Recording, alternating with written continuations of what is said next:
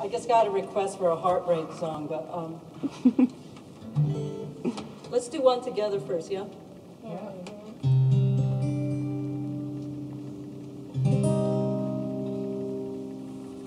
So we're gonna do some call and response.